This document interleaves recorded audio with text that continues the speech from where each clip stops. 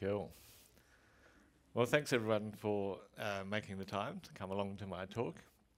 I know it's been uh, probably a big three days or two days so far of talks and things. So I appreciate you coming along to the, or five days, I guess, if you did the workshops. So you guys are the real superheroes doing that many days of things in a row. Uh, what I'm going to run through is essentially comic book layouts through the ages and how we can convert those into sort of modern front end or using modern front end techniques to recreate those layouts because comic books started fairly basic and I think our layout started fairly basic and they've gotten a lot more complex. But I, I think we've missed some of the areas where we've realized that we can create some of that complexity in our front ends. So something that you probably didn't think you were going to get in coming to NDC Oslo is a little bit of a history of comic books. So uh, they're said to have passed through four ages, uh, with each of those ages said to have had something sort of distinctive about it. We were first introduced to the superhero archetype in the golden age of comics. This was approximately 1938 and it was introducing us to characters like Superman, Wonder Woman, and Batman. During the Silver Age, the world is recovering from a world war, and a lot of the readers had matured during that time. So, to meet that maturity, the writers had to change their sort of approach. Stories that focused on horror, uh, crime, and romance became popular, and essentially helped that survive through what is a difficult period in history. So after the Silver Age used many of the heroic storylines writers could think of, the Bronze Age instead focused on social issues of the day.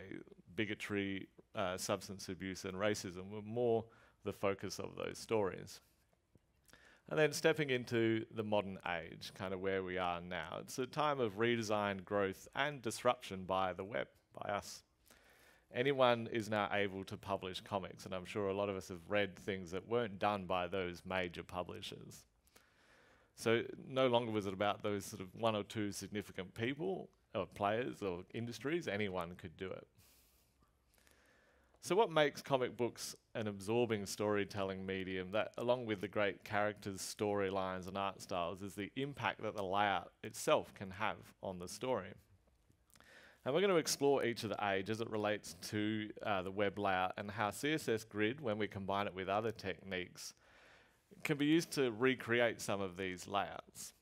So the following examples, they are for comics, but uh, when you're looking at them, think about how they can apply to what you're working on now. These aren't exclusively for comics. Um, and I don't particularly go into responsive grids here because a lot of people have covered that. This is more of a journey of sort of inspiration rather than diving right into every aspect of how to make a grid. So combine those comic book ages span about 70 years. And that's a long time to evolve how they tell their stories and how they do layout. In comparison, our web is relatively young, or our industry, sorry, is relatively young. HTML is about 29 years old and CSS is 25. So that makes me older than both of them. Uh, not combined, thankfully, but that's where I'm at with the industry. so the point that I'm getting that to here, though, is that in a relatively short period of time, layout in the web has progressed through many ages of its own. We started with HTML, basic text, basic links we started to use tables for what they weren't intended for and started opting them into layouts. We did some weird things there. The first of our comic crossovers, we had Flash, very dynamic, but problematic in other ways. And we went through absolute float, responsive, is kind of where we're at. And then intrinsic, which is one of the reasons I don't dive too much into uh, responsive now, because we have devices that fold out and we have so many different form factors now that just having a bunch of media queries doesn't necessarily mean you're going to have the best layout. So we need to be a little bit more flexible in the way that we do things. And all of that in just 29 short years, less than half of that of our friends from the comic industry. So it can be tempting at times to give layout on the web a hard time. I'm sure we've heard the joke of how difficult vertical centering can be. But I think it's amazing how far we've progressed. So we can appreciate where we are when we consider where we have come from. So is the current age going to be considered the web's modern age? And I think with CSS Grid, that might just be the case. So just quickly before we jump into that, this is me, Anton. I'm one of the probably surprising amount of Australians, particularly from Perth, that you've heard speak here or seen here. Uh, made the way all the way up with my family, so that was a lot of fun. I originally started uh, my career in graphic design, but transitioned into development uh, just because, I don't know, I found it more interesting for me.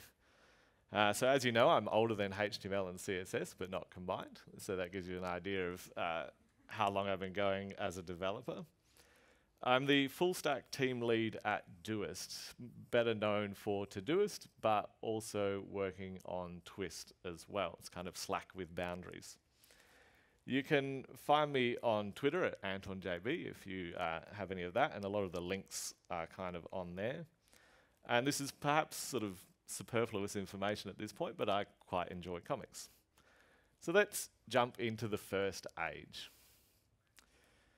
Undoubtedly, uh, one of the most important comics in history is Action Comics number one. It is the introduction to Superman, who is holding the car there. Now, they've changed a lot throughout the years, but this is essentially where they started.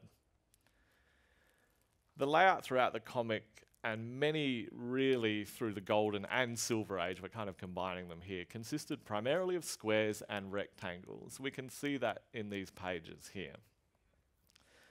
But as this talk is going to be focused more on layout, let's strip out the imagery and see what we're left with. The pattern was one to three panels per row, staggered throughout the page with a semi-consistent gap. You know, it, was printing of before, so, you know, semi-consistent. And I think in terms of CSS Grid, it's a nice starting example. You might, if you've used Grid, think that we could do something along the lines of Grid template row, repeating three times with one fraction. But we want that staggering where each panel is a little bit off from the other one, so we have to go a little bit further with it. Now the way that I calculated the columns is to measure the smallest panel that we could possibly do. That's the orange, uh, the one with 36 pixels there. We're not going to make one that size, but it is technically the smallest one we could have. And dividing it by the entire width of the of the page, so which is 576. Now these are very absolute values, but we're uh, doing it just so that we can calculate the number of columns we would need. So with that dividing, we get the 16 columns that we're going to need. And this is giving us the same ratio as the printed version. Putting that into some code terms with CSS, we have display grid, grid template columns repeating 16 times with one fraction. And we can be a lot more precise with our gap with 12 pixels. We're not needing to set the rows here with grid template rows because we can rely on what's called the implicit grid to handle that for us. Uh, so if, you, if we're not familiar with the implicit grid, if content is added that's going to fall outside of the defined grid range, so our defined grid was the top row, Grid will automatically add new tracks to contain that content. Now by default, implicit grid tracks are automatically sized. And we do have the ability to change that with grid auto rows. So you might want one to be one size and then have others a different size. But for our case, we're happy for it just to be auto because we're just adding similar panels in there. So each panel can then span the number of columns that we need. So panel one with grid column span six across, grid column two spans five, so on and so forth, and they'll keep wrapping around. And there we go. We've had a nice little grid example uh, and just a few lines of code. But we're probably not feeling kind of, I don't know, too super heroic just yet in these layouts, right? And the layout in Action Comic 1's never played much of a part in the story itself. It's, it's more just being used as a container to tell those stories. But moving forward to the Bronze Age break, brought with it a change in how layout could become a part of the story itself. So Spider Man 121 is released in 1973. It's considered a pivotal point in this character's story. Now, I hope it's not a spoiler for something that was released in 1973, but it is the death of Gwen Stacy. If you've seen any of the new movies, you'll be familiar. They keep this sort of repeating through time. At the time in comics, it was permanent. As we know, nothing is changed, it all changes now. But what's great about this story, along with the moment, artwork, and characters, is the way that the layout was an integral part of its telling. So the height of the bridge here and the fall is shown much more dramatically by the way that it's spanning multiple rows. Now, we don't get that effect in the other ones. So even though this is a great moment, in terms of, in terms of storytelling, let's again strip out the artwork to see the layout pattern that they were using here. So the big difference is the panel spanning multiple rows, the ones where the bridge was in and the fall was shown.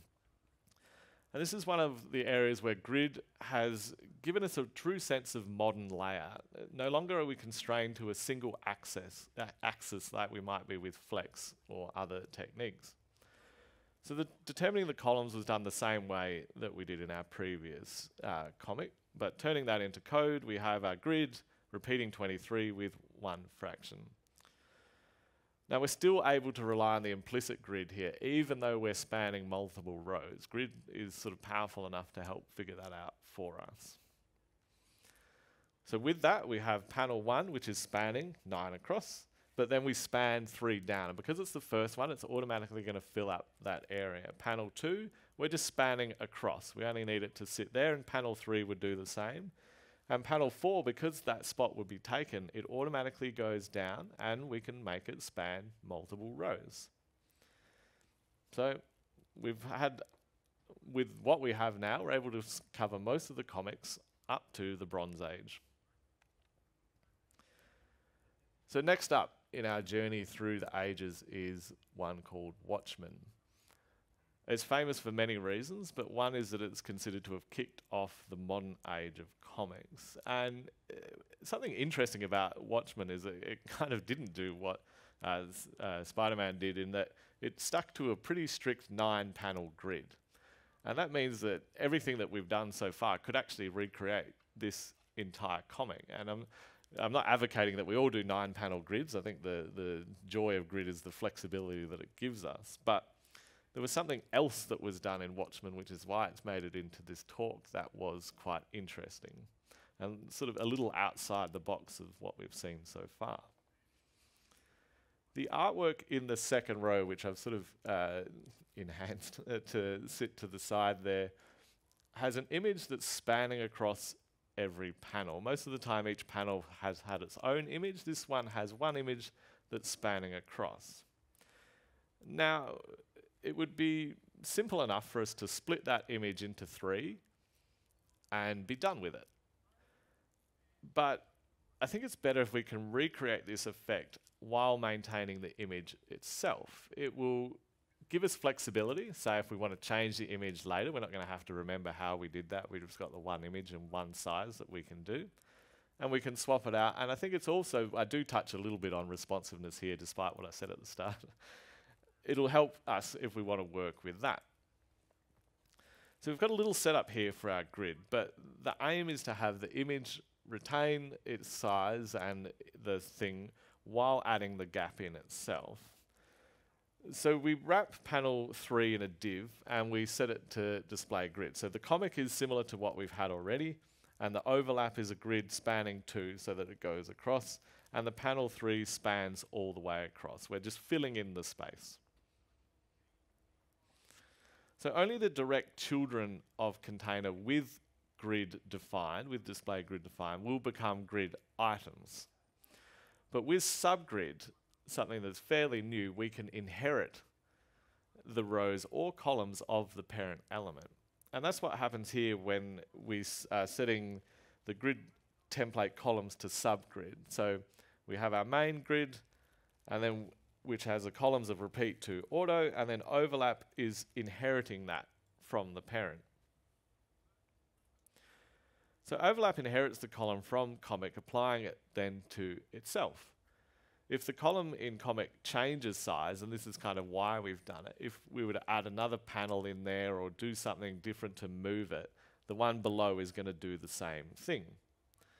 But we don't have to inherit the whole grid either. So all we've done here is inherit it for the columns, but we've left the rows defining it ourselves. And why that might be useful in a comic sense is say we were adding speech bubbles or other little elements, but you can think as well about how in regular web products we might do something different.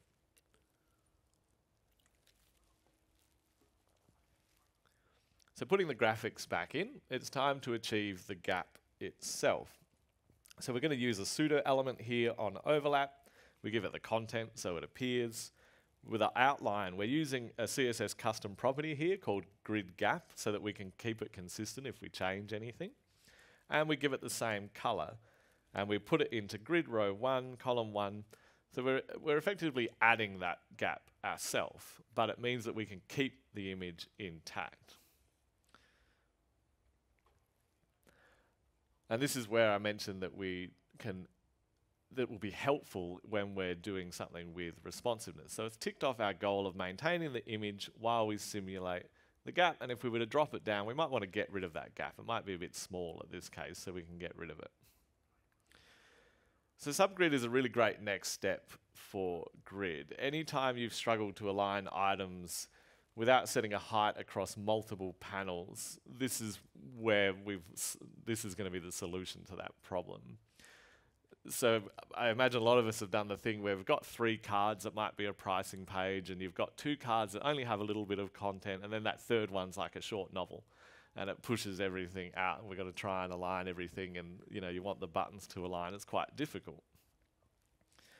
And this is an example from the Todoist website. So you you may have experienced this trade-off. If you use height, like we have in the first, and I, I switched to uh, German, which tends to be a little bit longer than English to sort of help illustrate it. Um, if you use height, you risk some of the content being cut off. So that's really problematic for the users. We've got the button there, which I believe says, oh, doesn't matter, that's what it says. Uh, you risk cutting off something. But if you use min height, then we get into the design issue where it's not as nice when it's not lining up. This is where grid and subgrid is going to have us covered. If the middle row content that's between our subgrid grows, then so too will the rest of them. And we can finally have a nice area where content will stay the same and buttons will line up. The advantage over the flat grid setup is that we get the flexibility of the expanding row in the middle while we maintain sort of nice semantic HTML meaning, being able to wrap each of the cards in the appropriate element. Where's browser support at with subgrid though? Yeah. Uh-oh. Uh, we're a little bit in experimental territory here uh, with subgrid, I'll be honest. As you can see, we lost a lot of people there, more than half. The only browser with subgrid sort of fully implemented uh, is Firefox, and that was interestingly all the way back in 2019. And then Safari recently enabled subgrid in their technical preview release. So it, I would expect it to land soon. Safari's actually been making a lot of leaps and bounds. They've, they've kind of become the IE for a little while there, but that was probably quite unfair. Uh, but there's hope with this. Subgrid was included in Interop 2022. Uh, what Interop is, is a combined effort by browser vendors and other sort of companies that work on browser features to get to feature parity with everything there. So make sure all the tests pass the same and everything works the same across the browsers. Have less of that problem of like, oh, IE is doing this and Firefox is doing that. I mean, IE, that was a weird example because that's gone, but Chrome and Firefox, etc. So keep an eye on the Interop 2022 progress and you can see how far along uh, Subgrid goes. And once Chrome has it, then we're we're looking pretty good because then um, Edge and the rest of them have it, or whoever, whichever one of them adds it. So before subgrid is more widely available though, we can create this effect using display contents. Adding display contents to overlap effectively gets rid of that div and moves it up into the grid itself. And we can achieve the same thing. And you, and you might be thinking, well, why don't we just do that anyway? Um, as I said, there's the advantages of subgrid where we can get everything growing, but we also lose the semantic meaning when we do that. Now, in the comic example, it was a bit harder to get semantic meaning, but if we had something in there like a header or an aside or something that had that semantic meaning, we lose that. And there was initially some problems with accessibility, but browsers have uh, thankfully sorted that out. But depending on how far back you're going with support, it's something to keep in mind. Uh, so it's the next evolution here during the modern age of comics where layout again became unique and interesting. Uh, we're going to revisit Spider-Man because I like it, um, one of my favorite sort of series, but we started to see a new layout trend in this age of comics. This modern age brought with it layering panels to sort of achieve a flow and depth that we hadn't previously seen artists were able to focus in and provide little details without sort of it having to be its own little specific panel. And I'm sure uh, layering isn't new to the web, and I'm sure you've had to sort of overlay a modal or something like that. And the ways we've had to do that could be a little imprecise or a little hacky at times. Grid is going to give us a much more predictable sort of way of doing that. So let's again look at a code. Up to now, we have been relying on that implicit grid to just magically do some of the things for us. But we're going to need to be explicit with the rows and columns here of our grid. Now, if you're at the JavaScript sort of quizzes the other days, you might be looking at some of these numbers and thinking, what on earth is happening? The values, uh, they're looking a little intimidating, but here's how I figure them out. It's not so bad once you can kind of do it because we have the artwork available, which we often do, right? Uh, it, it's rare that sort of we haven't either designed something or the designer hasn't given that, supplied that to us. We can draw the shape of the grid and see how it fits. So we're going to focus first on the rows. Now there's multiple ways, like all things, to do this, but if we divide the height by the number of rows that we're going to need, each of those lines is going to be a row that we are needing to position something at. It's either usually the start of the image or the end of the image that we're going to be creating. And again, we're dividing that by the number of, of those that we have, which gives us 109. It's just what we're using for a base fraction. We could have just picked one image and used that as our base fraction. This is just the approach that I've taken. It's worth playing around with. So dividing that by the height of an individual row with that base fraction, so our first uh, image is 291 pixels. We divide that by 109 and it gives us 2.6 fractional units. So uh, why do I keep using these fractional units here instead of percentages? And we have flexibility when we need to make everything responsive while maintaining the aspect ratio of each of the panels when we have a grid gap as well, if we're using percentages, the fractions will take into account the gap. Whereas if we start to use percentages, things are going to start to explode out the side. You know, we start to get that CSS is awesome uh, meme where everything's popped out the side. So it works in nicely with those. It's a it's a nice technique with it. And we repeat that same uh, sort of approach for each of the columns, and that's how we ended up there. So we can then layer our panels over the top where needed using grid row and the grid column values. So panel 3, we have grid row 4 through to 7. Grid column 5, we have fi uh, column 5, and we span it one across, and we give it z-index because we need it to, to sit on top. Panel 4, we have grid row 5 through to 9. And then we do grid column 2 to negative 2. And I think it's right to wonder, well, where, where's negative 2 come from in this whole thing? We haven't seen that yet. It's another handy technique that Grid has given us to be able to position uh, items. So the grid lines are numbered from 1 through to n. Each of the lines that we defined gets a number. n in our case is 8. We had 8 sort of um, lines, grid columns. So our starting line for panel 4 is 2. That's where we wanted it, 2 in. The lines are also numbered from, in this case, right to left or backwards. So we want, we know that that one is going to be coming in two spaces from what is our end. And I, am sort of trying to avoid direction because internationalization comes into this in a little bit. So we want to be two in from the side. And why this is useful is if we were to say have our thing there and we added another couple of columns in, we would have to go back and adjust everything. But if as long as it's within that, it's just going to adapt and stretch to that. Again, we're talking about being a bit more flexible and intrinsic design. And the beauty of most of the browser tools now is it's going to show you these numbers. So jump into the browser, define your grid, inspect it, and you'll get to see these. You can also, which is, I don't cover it too much here, but it's worth looking into, you can name areas. So an area, as we said, is sort of one of the panels, or we can have multiple panels, and you can give it a string value and start to name your things. Really useful when you have sort of a header or a sidebar and things like that. When they're named, it's really handy worth following up sort of after this talk. So the modern age of comics made prolific use of this layering, and it can be a great way to finally break out of the boxes that have contained web design for so long. This is another example here, which is Hawkeye number one from Marvel, it doesn't matter, along with the web recrea recreation at the sign we're not using gap here. We're throwing on a bit of a thick border and, and just simulating a lot of things. But again, like it's just giving us more depth and interest to what we can do. To keep with the themes of comics and to keep borrowing from our friend Spider-Man, with great power though comes great responsibility.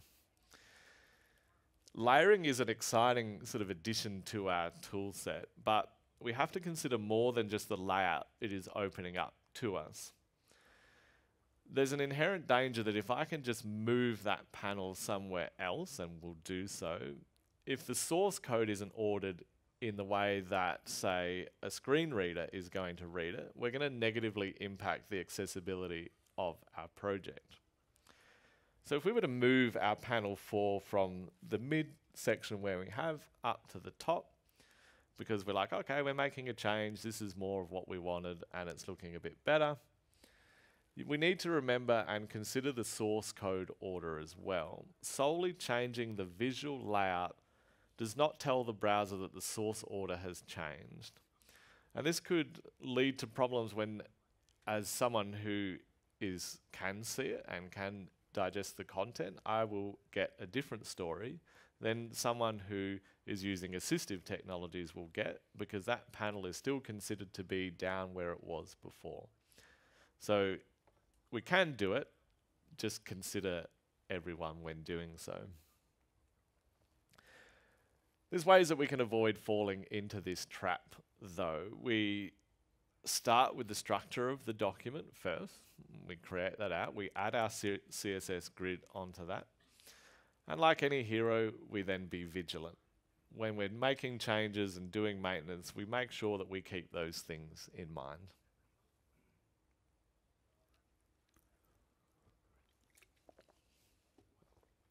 Um, MDN, great resource for reading into CSS grid accessibility if you want to have a bit more of a look into that.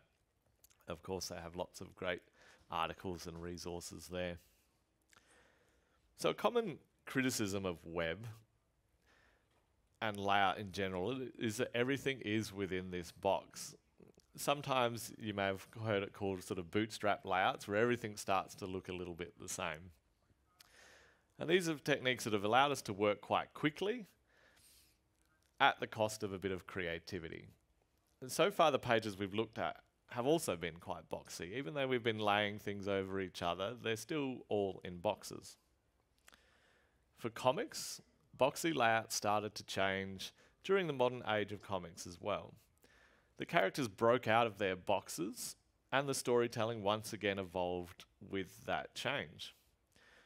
So this is a nice example from Phoenix and Jean Grey, showing how different shapes can enhance the storytelling and the web recreated version beside it. So that's working in the browser. Now, fundamentally, everything is still within a box. You can't sort of get away from that. We can't do L shapes in grid or shapes like this. But with some sort of CSS tricks and techniques, we can get creative and give the illusion of almost any shape we like. So there's a little bit of boilerplate that we're going to do here. It's similar to the others where our container is holding everything in place. We have the background image and doing that and overflow hidden because we're going to be doing some funky moving and we don't want it to get out of our box, ironically. The panel grid has columns for each of the five panels and we can't see all five here, but they are all there, but they're all overlapping each other. And the reason is with this technique, what we're doing is essentially cutting away the parts of the image that we don't want shown. So they're all still there and they're overlapping, but when we want the other part of the image to show through, we're just going to remove that part of it. Hopefully this helps to sort of illustrate that. Each of them is layered on top of each other in a different way and sitting within the grid. Now, a panel container is then rotated and put into place along the bottom, and we're starting to give it that curve that we're going for. Uh, transform, rotate, and translate there are going to be doing that with the absolute positioning, which is why we had some of that boilerplate code. So clip path is what is going to give us the shape that we're after. When you add a clip path rule, like what we've done here with our, our cat friend, we have the clip path polygon and we have X, Y values that will make their way around the image into effectively whatever shape we like. And we apply that to each of our panels and we're getting pretty close. Now we're, we're looking at all these weird values again saying like, why do these weird values keep coming up and how does he sit there and calculate them? I don't. Uh, in this case, this is Firefox. and we put a clip path onto it just in a random shape and then in the panel there you can click on that little icon and it will show you the nodes that you've added and I can drag them around and then you can double click onto it which will add a new node and you can move it and you can see that those values are updating in the dev tools copy that value take it back into uh, whatever tool you use lean on the browser tools. That's what they're there for.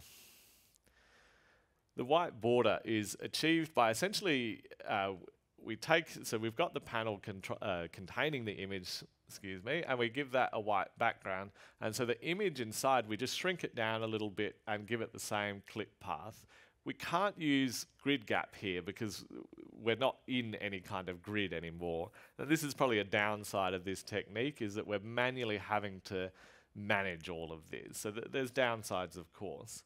Uh, but it looks cool, right? So we've got our transform scale, which shrinks it down a little bit. And you'll notice the transform origin at the bottom there. Because of the funky shapes and the way that we're doing that, we just need to change where we're transforming it from to keep it within the container. A lot of this is just changing lots of values in the browser tools until it looks right. And there we go we've recreated the shapes from that comic and made a really unique layout. This is not something that you're often going to be seeing when looking at the web. And if uh, you haven't seen it yet, each of the examples have a CodePen link uh, underneath them or around them. So feel free to, uh, sorry, I have a link later on which links to all of them. So don't feel like you need to desperately take a photo. But there are examples for each of them. This thing is murdering my ear. Sorry. Um, so ClipPath is no doubt a powerful tool when combined with Grid. Uh, and we'll take a look at another example here. Detective Comics 876, aka Batman. So taking the grid and the layering and everything that we've looked at, we could recreate this layout. The drawing is a little more intense, but it's the sort of not the background with the city and not Batman, it's that middle part of the squares that is kind of interesting here and what I wanted to focus on. We can add Batman with layering later. The shapes can be created by adding a little bit of perspective and rotating the panel itself. So our panel one, we have our grid row, grid, column, we're doing the positioning which we've kind of seen. We transform with perspective, that's going to give us some of that new sort of angles and shapes. And we can rotate and transform it, and then panel two similar as well. But what you can um, hopefully see in the example that I've put here is that the blue from each of them is overlapping through. And that's not what was happening in the comic. It all looked like one sort of shape going down the page. Again, we can solve that with our friend clip path. Clip path is setting the area that is visible, not the area that's not visible. So our panel three here, we add the clip path on, and again, I did it in the browser. I drew around the things and got the shape that what I wanted, removed what I didn't, and now we have recreated that same shape. Each of those panels is going down, and we have pretty similar to what the comic had without having any of the things coming through, and it's a little bit funky. Now get ready for this one. It's not limited to just polygons. Here's an example of Flash uh, comic with, I've swapped sides here, with the web recreation at the start, and I really like what happened, where's my pointer, with these two cats. It looks a bit like Two-Face with these two cats. I'll show on this side, them. I enjoyed that. Uh, it's a chaotic scene, um, and so that's why I've just put cats in there because I was like, I don't know how to get images that are going to fit in this. It's the same as everything else. And so if we break it down, we've covered polygon already. There's other shapes that we can use with clip paths. We have ellipse where we can define a radius with an X and a Y value to do the positioning. Um, the second, yeah, that's what the second two are for that uh, and then circle for uniform shape. So that other one was just done by piling a lot of them on top of each other. So clip path affected the shape of the container, but we also have we can also have text react to the container's shape using CSS shapes. So this is a panel from the comic series Saga. We can see the text starting to wrap around the edge of the planet. Now you've probably seen this in magazines many times. It's existed in there for as long as probably magazines have existed. But it provides a little more interest than the regular squarish speech bubbles that what we have. So setting the shape outside of the image is where we get this from. Panel one, we're doing just positioning again. It's it's boilerplate things. The paragraph paragraphs, excuse me, we're positioning it where we need it. And then panel the image itself, we're floating it to where we need it. We've got the width and the height. And the new part that we're looking at here is shape outside with the circle. So similar to what we've seen. Now again, the browser tools. Firefox has been helping. I think they've got really great browser tools. You can click that button. It will show you the shape that you've done and you can start to adjust it. And it also, I like that you can see what's happening. I, I tend to be quite a visual sort of learner and doer, and I like just being able to see something quite quickly. I'm really happy with how th the browser tools have been uh, helping this sort of work. Uh, it's really nice to be able to doing that. It takes a lot of the guesswork out of it. So the shapes can be more complex than just circles. If for whatever reason the designer comes to you one day and says, we've got a cat and we need the text to wrap around it. You're like, I saw this at NDC Oslo. I've got you covered. We can do the same polygon shape that matches the cat's face. Uh, something that wasn't in clip path that we can do is, is sorry, something that wasn't in clip path that we can do with shape outside is an alpha mask. So we have an alpha shape of our cat in this case, and similar to when you're doing a background image in CSS, you can set the URL to that. There are some CORS considerations to have here, but I, I don't know why you would be hosting this alpha mask somewhere else. It's, it would likely be within your thing, but it's something that's often pointed out in the documentation is the CORS consideration for our cats uh, cats for the images. So what we've created so far is great examples of the modern web, but it is a Western modern web. It's following those same structures and those same styles. Now, at Todoist, you know, at Doist, sorry, with our products, we're supporting 19 different languages, and that comes with it different reading styles and different approaches. For, for I guess myself, that's typically left to right, top to bottom. That is not the only comic book style, though, either. In for instance, Japan has their manga industry, their comics. Now, I've been a fan of Naruto, so it's fun that I keep getting to use things that I'm interested in in these talks. But this is the same page from the manga in Japanese and the English translation on the side. Now, the start is for me what would be considered the opposite side of the page, running in sort of a mirrored direction. The bottom is down in how I'm looking at it here, the bottom left when they translate it to English, they don't change it around, they keep it like that. So if you've ever happened to buy one of these, you'll open it up and there's usually a page that says, nope, start at the other end of the book, and you flip it around. The beauty of the web is we can be a little bit more flexible with that. When placed into the grid with the left to right direction, it will display in for my case, what I'm used to reading left to right, top to bottom.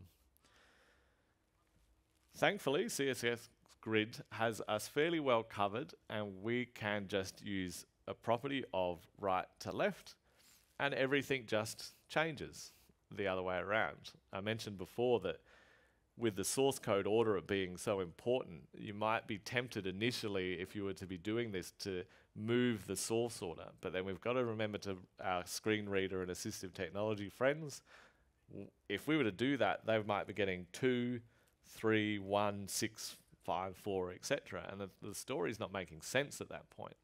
And this is the beauty of some of these modern layout techniques is we can lay it out in the logical source order and then grow the layout from there to support as many people as possible. Of interest in this comic and a little bit outside of internationalization, you'll notice though that the grid gap is different. The original comic had this spacing as well. Grid enables you to have a different vertical and horizontal layout for it. It's 2 rem is the uh, vertical, 1 rem being the horizontal. So I just thought that might be of interest to point out. A lot of the time I just set the 1, but you do have flexibility there. Also worth noting in the manga version is the direction of the text itself. So it's top to bottom running uh, from my right to left. Whereas in English, in this case, it's still got that right bit, but it's left to right going down. Now, I've avoided writing it in Japanese. Um, oh, my text is gone. But we can do this with vertical, setting the writing mode vertical right to left, and that will set the text in there. I don't know why it's disappeared. I'll check that later. Unfortunate timing. Uh, but with a logographic text, it will handle that properly. When it's in English, it just kind of writes it sideways going down, which again can be useful if you're doing something specific with the design. But for a logographic text, element, it will work as you're kind of expecting it to there. Arabic is another one that sort of does that as well. So that brings us to the uh, end of our journey through the ages of comics and how they can be brought to the web. And I mentioned at the start that although the comics or the layouts I'm talking about are all very comic based, do think about how you can use a lot of their techniques for what you're working on now. They are very extensible and flexible to that. I hope the effects that demonstrated throughout the talk have sparked some ideas and interest in and showing that the web doesn't need to just be boxy and square so much as it is. I'd love to see kind of where you take this beyond just comics and this talk for what people create. Feel free to share it with me if there's anything that kind of you do after this we've been in those boxes for quite some time. And I imagine when you apply these layouts to your projects, some great things will happen. And that's why I believe we're now in the modern age of layout on the web. CSS Grid has given us great powers and flexibility with our layout. We saw how we could stagger the content, layer our panels to create depth and interest, the coming CSS grid spec level 2 with subgrid, I think, is just around the corner and will help solve so many of those little niggles that we have with front end design now across multiple panels and things like that. You, we do it all the time. Getting a little more creative and breaking outside the boxes with the CSS clip path, CSS shapes, uh, and the shape outside, and making our projects to as accessible to as wide an audience as possible with Grid's great support for internationalization. If you are interested in the code examples, you can find them at CodePen at this collection. Feel free to play with them, share with them, fork them, do whatever. Um, I'll delay a little bit while people take photos. I've also got a link on my Twitter uh, for that if you happen to miss it. take this chance to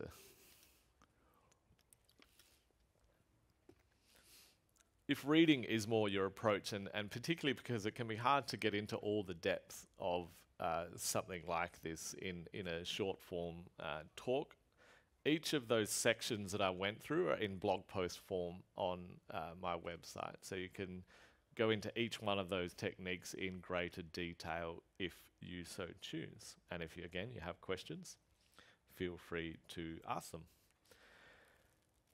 Stan Lee had a famous catchphrase that he would often sign off his letters with, which was Excelsior. And I thought it would be a great little hat tip to him uh, and what he's done for comics and likely many creative industries with kind of signing off the talk in the same way. Uh, but I looked up the meaning, uh, meaning, pardon me, which is ever upward. And I thought that was nice for a conference to take away what you learned today from all the talks or over the multiple days and take our industry upwards. Thanks very much. And if you have any questions, feel free.